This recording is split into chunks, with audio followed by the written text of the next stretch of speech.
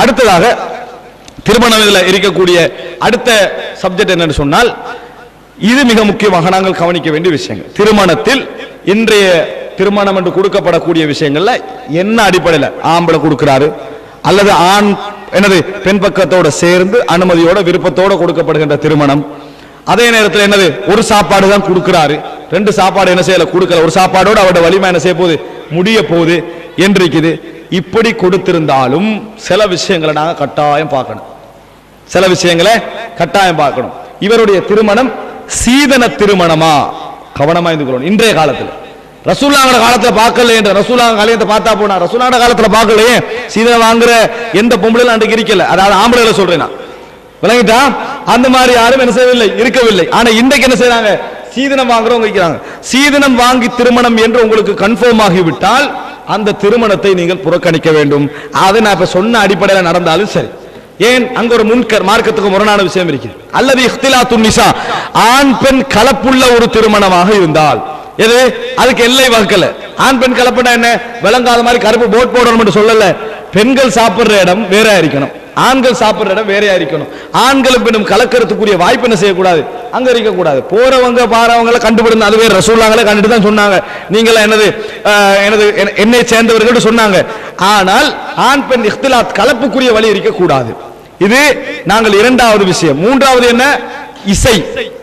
இசை போட்டு என்ன செய்ய பேண்டெல்லாம் போட்டு பெரிய திருமண விருந்து எடுப்பாங்க. இது இருக்க கூடாது அடுத்தது திருமணம் வீடியோ எடுக்கப்படக்கூடாது. இதை நீங்க விளங்கிக் கொள்ளணும். அங்க ஒரு மார்க்க உரை நடக்குது. அந்த உரை வீடியோ எடுக்கப்படாது வேற விஷயம். திருமண ஃபங்க்ஷனை வீடியோ எடுப்பான் திருமண ஃபங்க்ஷன் என்ன செய்வாங்க? அதை வீடியோ எடுப்பாங்க. அதுல பெண்கள் பெண்கள் அகப்படுவாங்க. விளங்கிட்டா? அதுல உள்ள எல்லா விதமான அவரவர்கள்லாம் விரும்பின கோலத்துல இருப்பா விரும்பாத கோலத்துல இருப்பாங்க. எல்லா விஷயம் என்ன செய்யப்படும்? அந்த வீடியோ எடுக்கப்படும். இந்த வீடியோ விஷயத்துல வீடியோ ஹலால் தான் பிரச்சனை இல்லை. ஆனால் பெண்கள் பகுதியில் வீடியோ எடுக்கிறது அல்லது அதுல என்ன ஆட்டம் பாட்டங்களை வீடியோ எடுக்கிறது இந்த மாதிரி ஒரு முன்கர் மார்க்கத்துக்கு முரணான செயலரிக்குமாக இருந்தால் அந்த திருமணத்துக்கு என்ன செய்யக்கூடாது? நாங்கள் தவிர்த்து கொள்ள வேண்டும். ஐந்தாவது என்ன தெரியுமா? அப்படிப்பட்ட திருமணம் முறையாவே நடக்குது. வீடியோ இல்ல அதாவது பெண் கலப்பு இல்ல ஆடம்பரம் இல்ல எதுவுமே இல்ல. ஆனால் அந்த திருமணம் நடத்தப்படுகின்ற முறை குருவான் சொன்ன அடிப்படையில இல்ல. எந்த அடிப்படையில?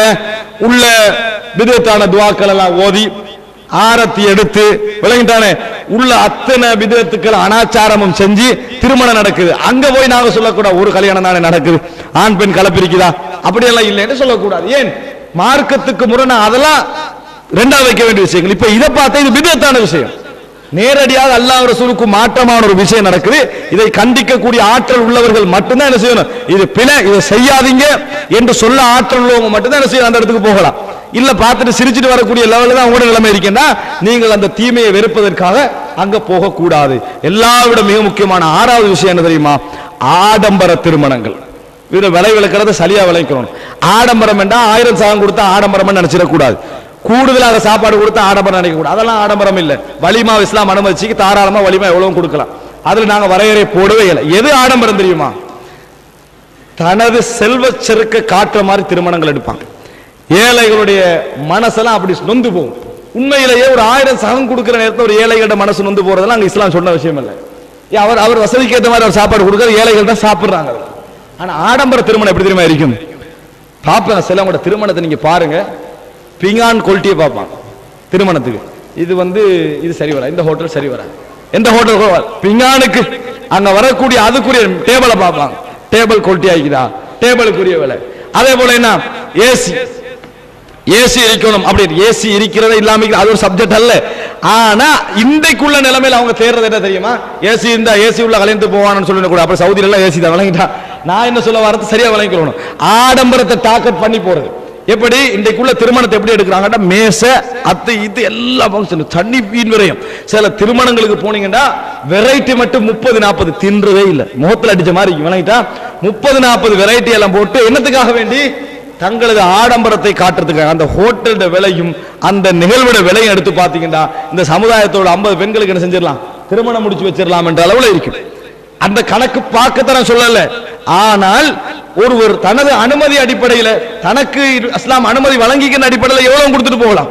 ஆனா இந்த மாதிரி ஆடம்பர நோக்கமா தன் செல்வ செருக்கு காட்டுறதுக்காண்டி சில வசதி படைத்தவுடைய திருமணங்கள் ஒரு ஹோல்ல ஒருவருடைய திருமணம் எடுக்கப்படுகிறது.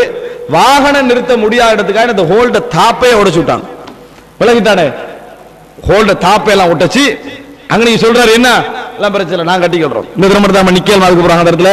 நாங்க கட்டி கொடுறோம் அந்த ஹோல்டர் தாப்பை உடைச்சு கட்டுறதுக்கு ஒரு ரெண்டு லட்சம் மூணு வைங்களேன் ரெண்டு பேரும் கல்யாண சேலை உணங்கிட்டா அப்ப என்ன தெரியுமா? அந்த அந்த இடத்துல உண்மையில அந்த தேவையே இல்லை. உடைக்க வேண்டிய எந்த தேவையும் இல்லை. அந்த உடைக்கிறாங்கன்னு தெரியுமா? செல்வ செருக்க நிரூபிக்கிறதுக்கு. நம்ம ஹோட்டலே உடைப்போம். கல்யாணத்துக்காக வேண்டி ஹோட்டலையும் உடைப்போம் என்றது அந்த அந்த குணம் அந்த கல்யாணத்துல வருது நிறைய பேர். நிறைய பேருக்கு அது வருது. அந்த நிமிடத்தில் எந்த அளவுக்கு ஆடம்பரங்களை காட்ட முடியுமோ அந்த அளவுக்கு ஆடம்பரங்களை காட்டி நடக்கின்ற திருமணங்கள் நிறையவே இருக்கின்றன. ஆடம்பரம் என்று உங்களுக்கு விளங்குதா விளங்குகிறோம் ஆடம்பரம் என்றது ஒரு ஆள் ஹோட்டல்ல செஞ்ச ஆடம்பரம் அல்ல. ஒரு ஹோலை புக் பண்ணினா ஆடம்பரம் அல்ல. நாங்க ஹோட்டல ஹோலுக்கு வேற விஷயங்களுக்கெல்லாம் புக் பண்ணுவோம். மீட்டிங்குக்கு புக் பண்ணலாம் பயானுக்கு புக் பண்ணலாம் ஃபங்க்ஷனுக்கு புக் பண்ணலாம் கல்யாணத்துக்கு புக் பண்ணக்கூடாது இல்லை. எல்லாத்துக்கும் புக் பண்ணலாம் எதை வச்சுத்தான் தான் நாங்க புரிஞ்சுக்கணும் தெரியுமா? ஆடம்பரம் என்கின்ற ஒன்றுக்காக செய்யறது உங்களுக்கு அவசரமா விளங்கிடும் அது உங்களோட உள்ளத்தோடு சம்பந்தம். ஆடம்பரத்துக்கு வரை விளக்கணம் போட இயலாது ஆடம்பரத்துக்கு ஒரு சாவர் சொன்னார் ஜுப்பா போடுறது ஆடம்பரம்ன்றாரு. ஏன் தெரியுமா? சேட்டி இவ்வளவு விட முடியுதானே? ஜுப்பா கீழே போகுது. அப்ப இவ்வளவு துண்டு கூட இது ஆடம்பரம் அதனால ஆடம்பரம் அப்படியெல்லாம் பாத்திரப்படாது ஆடம்பரம் என்றது என்னது? ஆடம்பரம் என்றது நாங்க நினைக்கிற மாதிரி ஆடம்பரம். மனிதனுக்கு விளங்கும் இது ஹத்த எல்லையை மீறி போகுது. இது எல்லையை மீறி போகுது உங்களோட உள்ளத்தை முடிவெடுத்து ஆடம்பரத்துக்கு வரை விளக்கணம் போட இயலாம். இப்படி இருந்தா தான் ஆடம்பரம் இது வீண் விரயத்தோட போகுதுன்றது உங்களுக்கு என்ன செஞ்சிடும்? விளங்கிடும் இந்த அளவு அல்லாஹ் தாலா என்ன சொல்றான் குழு வஷரபு. நேரடி அல்லாஹ் தாலா குருவான் வசனத்தை சம்பந்தப்படுத்தி சொல்ற விஷயம். குழு வஷரபு. உண்ணுங்கள் பறவைங்கள் ஒலா துஸ்ரிஃபு. வீண் விரயம் செய்ய வேண்டாம். எதுக்கு சொல்ற? சாப்பாடோட சம்பந்தப்படுத்தான சொல்றான். குழு வஸ்ரபு உடுப்புக்கு சொல்லல வேற ஒன்றுக்கும் சொல்லல. உணவு சொல்ல கூட சொல்றான் குழு வஸ்ரபு வலா துஸ்ரிஃபு. உண்ணுங்கள் பருகுங்கள் வீண் விரயம் செய்ய வேண்டாம் என்று சூரா ஆறாம் முப்பத்தி ஒன்றாம் வசனத்தில் சொல்றான். இதை நாங்கள் கவனத்தில் கொள்ள வேண்டும். அன்புள்ள சகோதரர்களே இதை நீங்க புரிஞ்சு கொண்டீங்க என்று சொன்னால் திருமணம் சம்பந்தமான எல்லா விதமான சந்தேகங்களும் இதில் செஞ்சுட்டு போயிடும் முதல் அம்சம் பேசிக்கில் நிற்கணும் உலக வளமைகள் இஸ்லாம் அனுமதித்த விஷயங்களை நாங்கள் தாராளமாக என்ன செய்யலாம். அதில் நாங்கள் இஸ்லாம் அனுமதித்து தான் நேரடியாக கேட்க வேண்டிய விஷயம் இல்லை சாப்பாடு விஷயங்கள்ல. அதே நேரத்தில் வைபவ ரீதியாக இஸ்லாம் சொல்லுகின்ற நேரத்தில் திருமண விருந்தை ரசூல்லாங்க என்ன செஞ்சுக்கிறாங்க? மோசமான சாப்பாடு என்று சொல்லிட்டு தான் ரசூலாங்க அனுமதிக்கிறாங்க மோசமான சாப்பாடு என்று சொல்லித்தான் அப்படி இஸ்லாம் சில விஷயங்களை அனுமதிச்சிருக்கும். ஒரு முஸ்லீமோட இன்னொரு முஸ்லீம் பேசாமல் இருக்கலாமா? பேசாமல் இருக்கிற கூடாது. ஆனால் மூன்று நாளைக்கு பேசாமல் இருக்கலாம்னு சொல்லிக்கிறா இல்லை இஸ்லாம்? மூன்று நாளைக்கு பேசாம இருக்கலாம்னு சொல்லி. அந்த மூன்று நாள் பேசாம இருக்கிற சரியா? சகோதரத்துவத்துக்கு முரணா இல்லையா? ஆனா அனுமதிக்கலாம் ஏன்? மனுஷன் ரோசத்துக்கு மூணு நாளா டைம் கொடுக்கணும். மனுஷன் ரோசத்துக்கு மூணு நாளா டைம் கொடுக்கணும்ன்றதுனால இஸ்லாம் என்ன செய்கிறது? அது விரும்பப்படாத ஒரு விஷயம் அனுமதிக்கிறது. கதிரை நம்பின ஒருத்தர் என்ன செய்யக்கூடாது? சோகத்துல எரிக்கக்கூடாது அல்லா அல்லாஹ் எடுத்தா இன்னால இல்ல வைனா ராஜு நிக்கணும்.